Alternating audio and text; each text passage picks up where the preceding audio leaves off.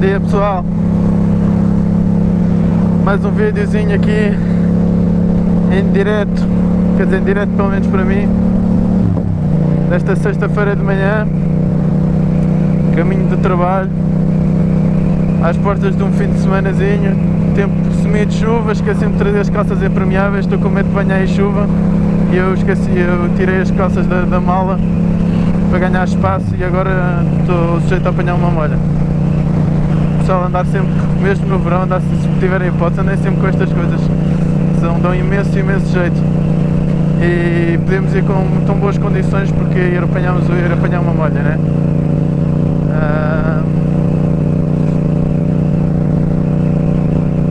curioso, já passei por 3 ou 4 gajos de moto, cumprimentei todos e eles ficam todos a olhar para mim como se eu fosse um extraterrestre.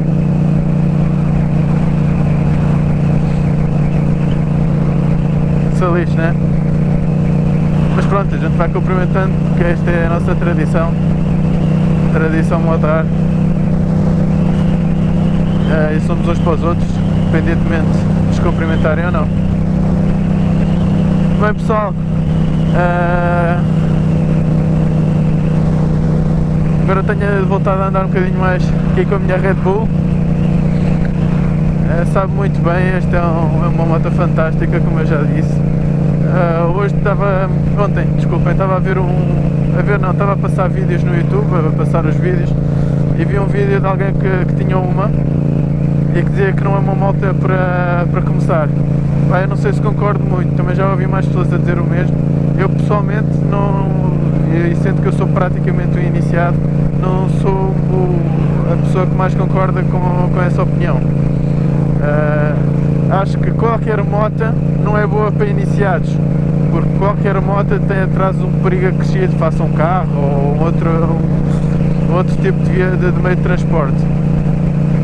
Agora, existindo consciência desse risco, existindo uh, cabeça, tendo muita consciência no que se faz a conduzir, eu acho que eventualmente qualquer moto pode ser para um iniciado.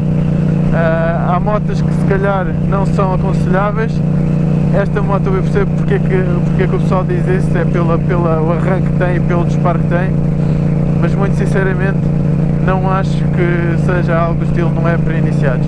Pá, não, são pessoas que sempre tiveram hábito de andar de bicicleta, têm um bom equilíbrio, têm a percepção da,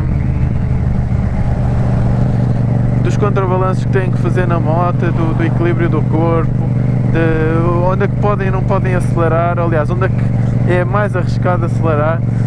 Então, eventualmente toda a, a, nossa percepção geral sabe isso, não é? Portanto, eu quando vou a conduzir, não sendo uma pessoa experiente, sei que se estou a fazer uma curva apertada, uma curva de baixa velocidade e vou acelerar de repente, bem, existe uma grande hipótese da moto derrapar e eu ir ao chão. Muito grande.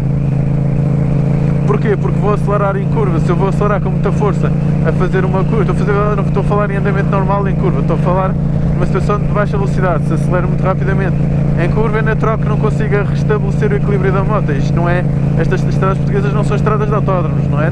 E são muito boas na, na sua grande generalidade, inclusive. Portanto, é, opa, a minha opinião é que efetivamente a MT-07 pode ser uma moto para iniciados. É preciso ter muita cabeça, mas eu acho que isso é transversal para qualquer moto. Portanto, não é só aplicável a esta, ou uma R1, ou uma R6, ou motas de alta velocidade, ou motas com grande arranque, com grande torque.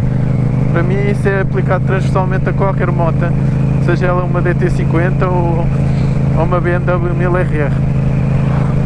Pessoal, basicamente era só para vos cumprimentar este vídeo, vos dar aí um cumprimento, agradecer à malta toda que tem acompanhado os vídeos, aos novos subscritores, o canal já tem 45 subscritores, portanto desde o último vídeo que eu fiz de agradecimentos já entraram mais alguns vídeos, mas eh, o canal ganhou mais 5 subscritores, portanto bem-vindos. Uh, e obrigado a todo o pessoal que comenta, que faz like. Portanto, fiquem bem, um abraço pessoal e vão comentando.